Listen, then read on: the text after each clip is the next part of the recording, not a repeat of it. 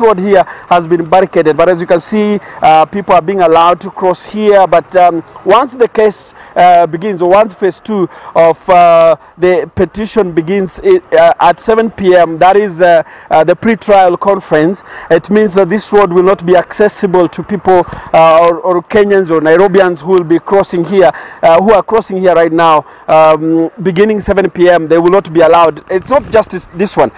There is the way, City Hall Way, uh, coming from Tom Mboya, uh, passing here. Uh, past the city hall uh, those roads have also been barricaded but uh, as i told you earlier vicky uh, this is just um, a pre uh, a, a pre uh, preparation for the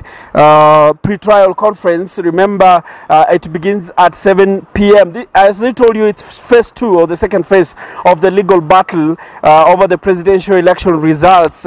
And here remember the case that was presented by Raila Odinga. The question will be whether the anomalies that were cited in the data forms that is forms 34a and